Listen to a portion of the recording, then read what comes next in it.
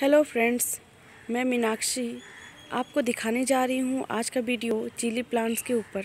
मेरा जो first video था वो टोमेटोज़ के ऊपर था, लेकिन आज का वीडियो मैं करने जा रही हूँ चिली प्लांट के ऊपर। देखिए फ्रेंड किस तरीके से मेरा चिली प्लांट का ग्रोथ हुआ है।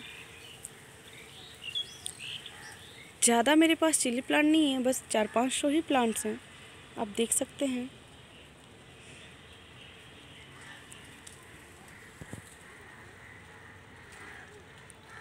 इसका ग्रोथ देखिए। किस तरीके से इसका ग्रोथ हुआ है। इस पे आने वाले इतने सारे चिलीज हमने और एक्चुअली हार्वेस्ट कर लिए हैं। लेकिन अभी भी फ्लावर्स आते जा रहे हैं और चिलीज भी होते जा रहे हैं।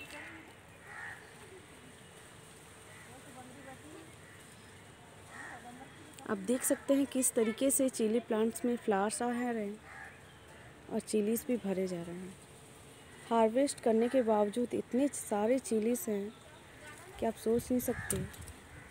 इसमें थोड़ा सा ऑर्गेनिक फर्टिलाइज़र्स यूज़ किया गया है और कुछ भी नहीं। बस थोड़े से किसी तरीके की बीमारी ना आए, उसी के ऊपर हम लोग देखभाल किया हुआ है और फुल सनलाइट में हमने रखा हुआ है ये प्लांट को। इसका ग्रोथ दिन ब दिन बढ़ते जा रहा है और फ्लावर्स आते जा रहे हैं। देखिए। इसको मैंने लगाया हुआ है मिट्टी के। मिट्टी में ही उगाया है।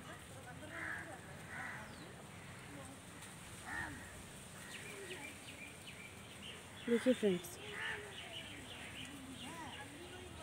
कितने सारे चिलीस हैं। इसको हम हार्वेस्ट करने के बावजूद इतने फ्लावर्स हैं कि और भी कितने सारे चिलीस होंगे।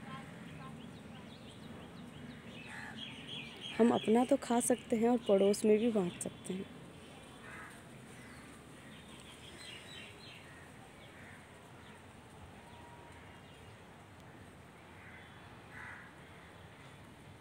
इसके संग मैं दिखाना चाहूँगी कुछ कोरिएंडर्स के लिप्स।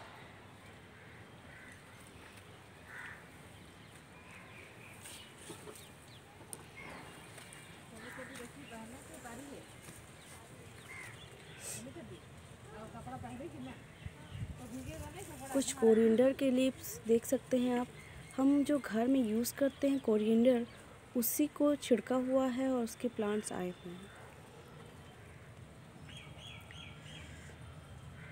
इससे भी हमने फुल सनलाइट में रखा हुआ है जिस वजह से इसका ग्रोथ इस तरीके से हुआ है।